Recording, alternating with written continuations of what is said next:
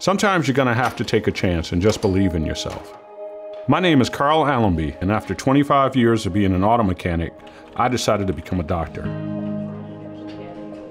When I was a kid, there was a show called St. Elsewhere, and it featured Denzel Washington.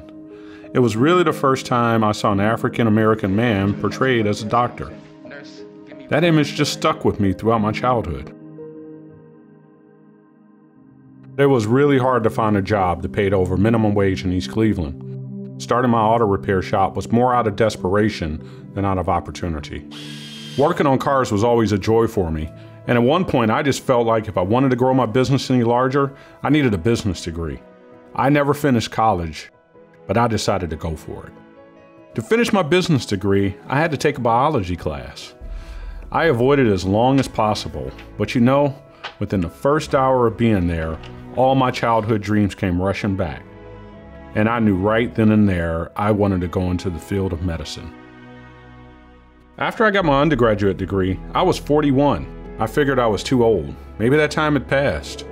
But I had this one professor that made me really believe I could actually do well in the medical field.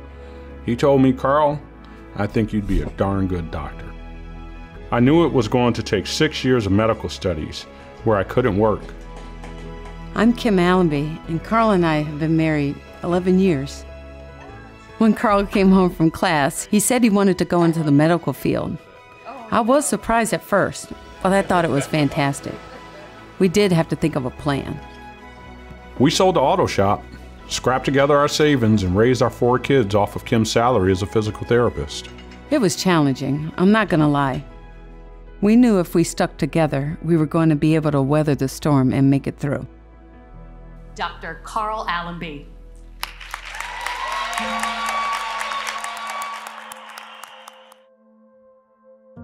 I'm Professor Arthur Barnes, and I taught Carl in 2011 and 2012. I didn't see Carl's age as an obstacle, I saw it as an advantage.